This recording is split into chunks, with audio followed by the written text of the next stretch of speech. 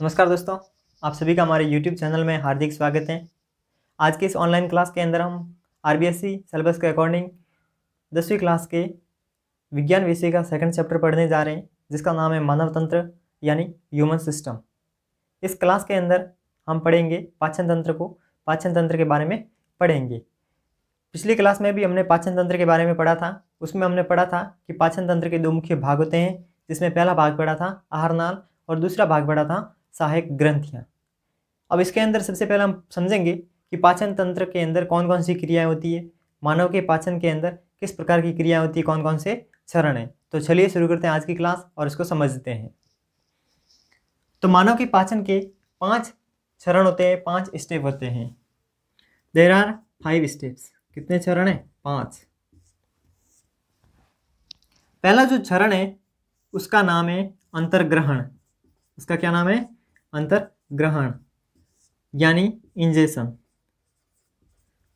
जो English medium student है, उनको भी यहाँ आसानी से समझ में आ जाएगा। अंतर्ग्रहण या इंजेशन सेकंड स्टेप है पाचन। ये पाचन तंत्र की प्रक्रिया के अंदर जो पूरा प्रोसेस होता है, पूरी प्रक्रिया होती है, उसको हम चरणों में बांट रहे हैं और उसमें दूसरा चरण है डाइजेशन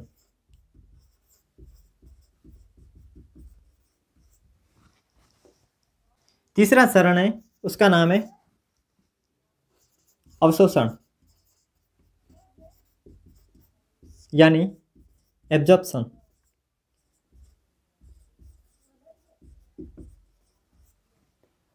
चौथा है स्वांगीकरण।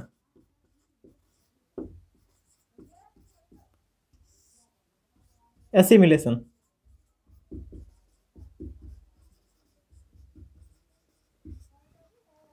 और पांचवा चरण है बहिक्षेपण पांचवा चरण क्या है? बहिक्षेपण जिन्हें हम कहते हैं ईजेशन भोजन की पूरी प्रक्रिया के अंदर, भोजन के पाचन की पूरी प्रक्रिया होती है, उसके पाँच चरण होते हैं और उसका जो पहला चरण है, जिसका नाम है अंतर्ग्रहण या इंजेशन। इस चरण के अंदर क्या करते हैं हम? भोजन को ग्रहण करते हैं, हम भोजन को शरीर के अंदर पहुंचाते हैं, शरीर के अंदर डालते हैं। तो इसमें जो प्रक्रिया है, इस प्रक्रिया के अंदर मुँह और मुख गुहा का मुख्य रोल होता है, मुख्य भूमिका होती है। तो अंतर्ग्रहण के अंदर क्या कर, किया जाता है? भोजन को शरीर में प्रवेश कराना। भोजन को शरीर में प्रवेश कराना। प्रवेश कराना।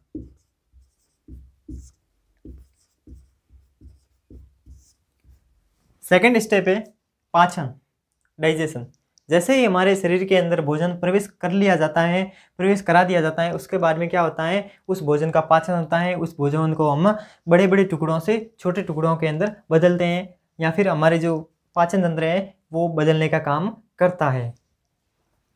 तो उसमें देखिए, जो पाचन होता है, पाचन शुरू हो जाता है मुख गुहा का से ही। मुख गुहा के अंदर यांत्रिक बल के द्वारा या फिर यांत्रिक क्रिया के द्वारा जो भोजन है, वो दांतों से छोटे टुकड़ों में बांट दिया जाता है। और उसमें देखिए, जो पाचन की प्रक्रिया मुख से शुरू होती है और लगभग बड़ी आंत तक चलती रहती है। बड़ी आंत में तो बहुत कम पाचन होता है, लेकिन छोटी आंत में सबसे ज़्यादा पाचन होता है। तो अधिकतर प्रक्रिया छोटी आंत में चलती है, लेकिन कभी कभार बड़ी आंत के अंदर भी पाचन की प्रक्रिया थोड़ी सी हो जाती है। फिर पाचन के अंदर क्या होता है? पाचन के अंदर भोजन के बड़े अणुओं को छोटे अणुओं के अंदर तोड़ना या फिर बदलना। बड़े अणुओं को किसके? भोजन के। छोटे अणुओं में बदलना। छोटे अणुओं में बदलना। अब देखिए, भोजन के बड़े अणु हैं उनको छोटे अणुओं में हम क्यों बदलते हैं? इसकी क्यों आवश्यकता पड़ती है हमें? कि हम बड़े अणु हैं, उसको डायरेक्ट क्यों इसका उपयोग नहीं कर सकते? क्यों नहीं कर सकते? क्योंकि जो हमारी कोशिकाएँ हैं, उन भोजन के अणुओं को ग्रहण नहीं कर सकती। उसका आकार इतना बड़ा नहीं है कि वो भोजन के बड़े अणुओं को ग्रहण कर सके। तो इसीलिए भोजन को हमें या फिर हमारे पाचन तंत्र के द्वारा छोटे छोटे टुकड़ों में छोटे छोटे अणुओं में बांटना पड़ता है। फिर उसके बाद में तीसरा स्टेप है, वो है अवशोषण। जैसे ही भोजन के अणु छोटे छोटे हो जाते हैं, उसके बाद में हमारे शरीर की कोशिकाओं को ऊर्जा की आवश्यकता होती है और उस ऊर्जा की आपूर्ति के लिए, उस ऊर्जा की आपूर्ति के लिए जो कोशिकाएँ हैं, वो उन छोटे अणुओं को अपने शरीर, सॉरी, अपने संरचना के अंदर, अपने अंदर ग्रहण करती है। तो शरीर की कोशिकाओं के द्वारा शरीर की कोशिकाओं के द्वारा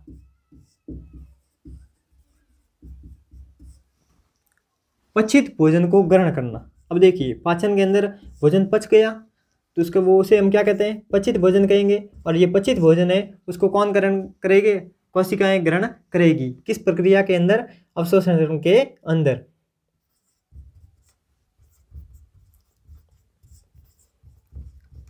अब देखिए, फिर उसके बाद में आता है स्वांगीकरण या फिर एसिमिलेशन। जैसे ही हमारे शरीर की कोशिकाओं को भोजन प्राप्त हो जाता है, पचित भोजन प्राप्त हो जाता है। उसके बाद में हमारे शरीर की जो कोशिकाएँ होती है, वो क्या करती है? उस पचित भोजन को, ग्रहण किए हुए भोजन को अपने द्वारा ऊर्जा में बदलती है। तो भोजन के अणुओं को ऊर्जा में बदलना, यानी एक तरह से उसका यूटिलाइज करना, उस भोजन को क्या करना? यूटिलाइज करना, उस भोजन का उपयोग करना।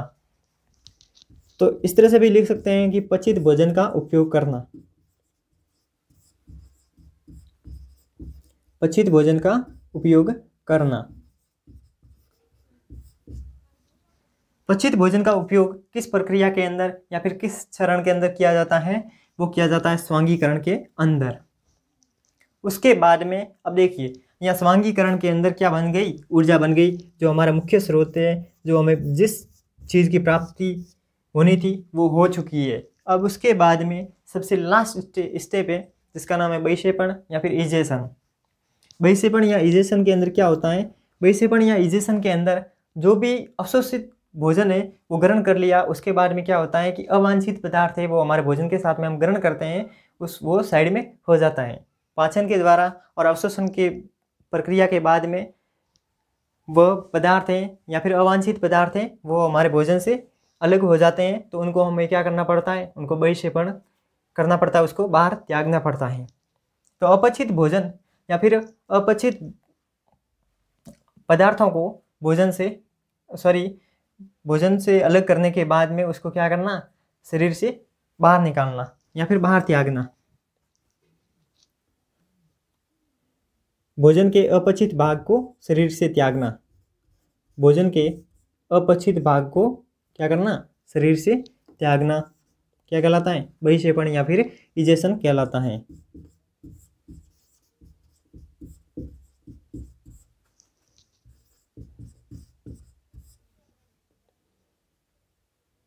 शरीर से त्यागना। बहिक्षेपण कहलाता है। अब देखिए, मानव में पाचन की प्रक्रिया के पाँच चरण होते हैं।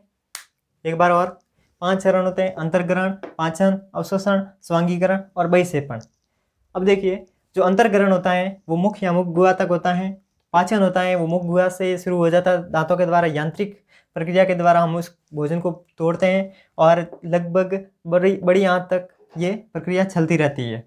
अवशोषण है, वो छोटी आंत और बड़ी आंत के अंदर होता है। बड़ी आंत के अंदर जल का अवशोषण होता है और छोटी आंत के अंदर भोजन का अवशोषण होता है।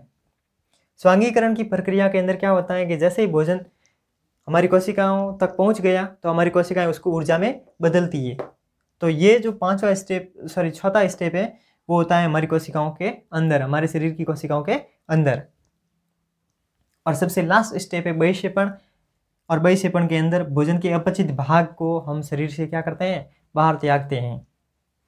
तो ये पाँच स्टेप कंप्लीट हो गए। अब यहाँ आगे से बढ़ेंगे। आगे हम बढ़ेंगे पाचन तंत्र के विभिन्न भाग और उनको हम विस्तार से पढ़ेंगे। तो आज हम शुरू करेंगे पाचन तंत्र का, के अंदर आहार नाल का पहला भाग, जिसका नाम है मुख और मुख गुआ क्या नाम है? मुख and mouth and buccal, cavity. मुख और मुख गुआ पहला भाग है, उसको हम शुरू करेंगे। मुख एवं मुख गुआ अब देखिए, ये चित्र बनाया हुआ है, इसके अंदर ये मुख, यानी कि आहार नाल वो कहाँ से शुरू होती है? मुख से शुरू होती है। कोई भी पूछ ले कि आहार नाल का सबसे आगे वाला हिस्सा या फिर आगे वाला भाग, उसका क्या नाम है? उसका नाम है मुख या माउथ।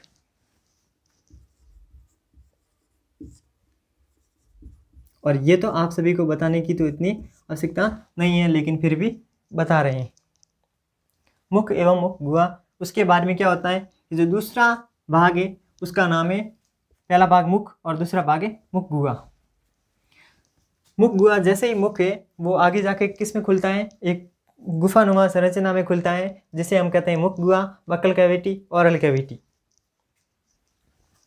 तो ये है मुख गुआ अब देखिए, ये क्या है? ये है नासा गुआ नेसल कैविटी, और ये है बकल कैविटी, या फिर औरल कैविटी मुख गुआ इसके अंदर क्या होता है? इसके अंदर तीन मुख्य भाग होते हैं। यानी हम कह सकते हैं मुख गुआ के तीन मुख्य भाग होते हैं। बकल कैविटी के कितने भाग है? तीन भाग। कौन कौन से? पहला है जीप, तालू और दांत। जीप, तालु और दांत। अब देखिए, जीप, तालु और दांत इन तीनों का भोजन के पाचन के अंदर, भोजन के पाचन की प्रक्रिया के अंदर मुख्य भूमिका होती है और उसमें भी ज़्यादातर दांतों की मुख्य भूमिका होती है। तो सबसे पहले हम पढ़ेंगे जीभ को।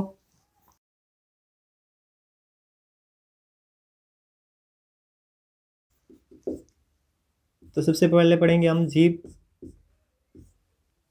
या फिर जीभ को क्या कहा जाता है? टंग। क्या कहा जाता है? टंग।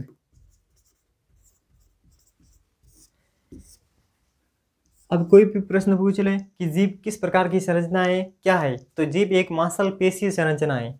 यह एक मांसल पेशीय संरचना होती है। मांसल पेशीय संरचना है।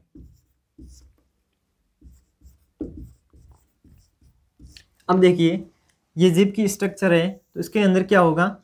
ये जिप पीछे से जिस भाग से जुड़ी हुई होती है तो वहाँ पे एक हड्डी पाई जाती है, जिसका नाम है हाइयोइड बॉन क्या नाम है? हाइयोइड बॉन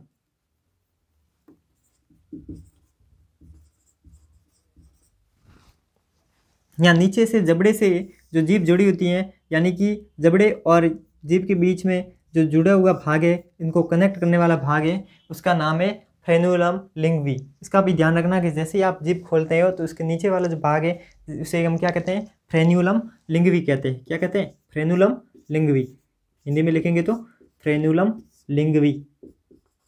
इस प्रकार से आप लिख सकते हैं। ये कौन सा भाग है? ये वाला।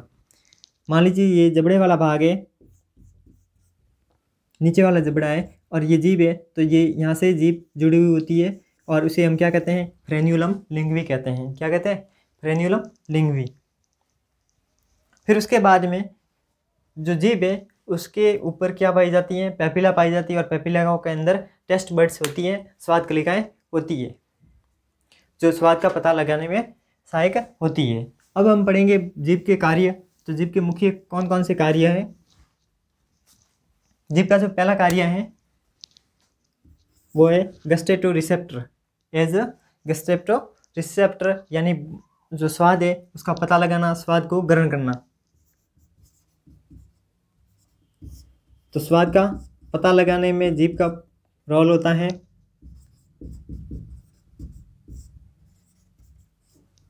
दूसरा कार्य है, वो ये है कि जो हमारी जीप है नेचुरल ब्रश के रूप में काम करती है एज ए नेचुरल ब्रश के रूप में वो कार्य करती है। यानी एक तरह से दांतों के बीच में कहीं पे भी भोजन के कण फंसे होते हैं तो उसको बाहर निकालने का कार्य करती है।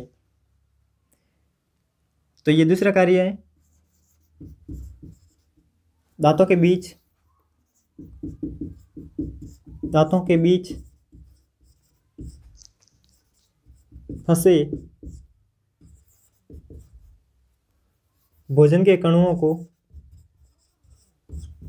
भोजन के कणों को बाहर निकालना।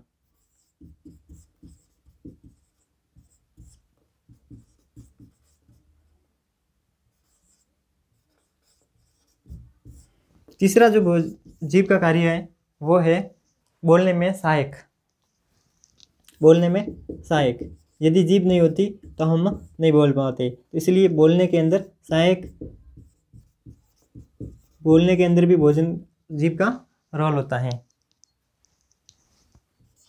चौथा कार्य है, भोजन को निगलने में सहायता करती है। भोजन को निगलने में सहायक।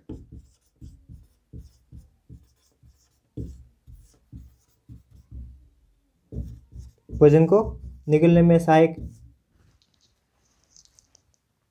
भोजन को चबाना तो भोजन को छबाने में भी जीभ का मुख्य रोल होता है, या फिर भोजन को लार के साथ में मिक्स करना।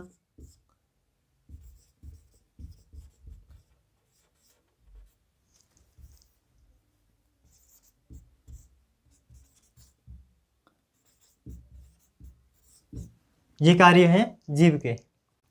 इसके बाद जो सेकंड भाग है मुख कुआ का, उसका नाम है तालु। उसका नाम क्या है? तालू या फिर पैलेट। तो सेकंड भाग को हम पढ़ते हैं, तालू या पैलेट। तो मुख गुआ का दूसरा भाग है, जिसे हम कहते हैं तालू या फिर पैलेट। अब देखिए तालू या पैलेट क्या होता है। जो हमारी मुख गुआ होती है तो मुख गुआ की ऊपरी छत होती है, छत नुमा संरचना होती है, उसे हम क्या कहते हैं? तालू। जैसे कि ये वाला। ये वाली जो संरचना है, उसे हम क्या कहते हैं? उसे हम कहते हैं तालु। अब तालु के भी यहाँ दो भाग होते हैं। तालु के भी दो भाग होते हैं। आगे वाला भाग कठोर होता है, पीछे वाला भाग कोमल होता है। आगे वाला भाग कठोर होता है, जिसे हम कहते हैं कठोर तालु। पीछे वाला तालु है, उसे हम कहते हैं कोमल तालु। ये कठोर क्यों है और ये कोमल क्यों है? कठोर वाले के अंदर पाई जाती है हड्डी। इसमें क्या पाई जाती है? हड्डी। और इसके अंदर पाई जाती है कार्टिलेज। क्या पाया जाता है? कार्टिलेज, या फिर जिसे हम कहते हैं उपास्थि। तो उपास्थि के कारण ये कोमल है और ये अस्थि के कारण ये कठोर है। तो तालु के दो भाग होते हैं, कठोर और कोमल। तो देखिए, जो तालु की संरचना है, वो इस प्रकार की है और तालु के आगे वाला जो भाग है, उसे हम कहते हैं यूव्यूला जो इस प्रकार की जो संरचना है तालु के अंदर, उसका क्या नाम है? उसका नाम है यूव्यूला। तो ये नाम भी आपको ध्यान रखना है कि तालु के आगे वाली संरचना है, जिसका क्या नाम है? तो अग्रिम संरचना, तालु की अग्रिम संरचना क्या कहलाती है? यूव्यूला कहलाती है। तो इसका आपको ध्यान रखना है। आज के लिए बस इतना ही। अब हम अगली क्लास में यहाँ से आगे से कंटिन्यू करेंगे। तब तक आप मेरे पिछले वीडियो नहीं देखा है तो वो भी देख लीजिए। और चैनल को सब्सक्राइब नहीं किया, सब्सक्राइब भी कर दीजिए और बेल आइकन को भी प्रेस कीजिए, ताकि अगली बार जैसे ही वीडियो अपलोड हो जाए यूट्यूब के ऊपर तो आपको नोटिफिकेशन मिल जाए। आप सभी का बहुत बहुत धन्यवाद।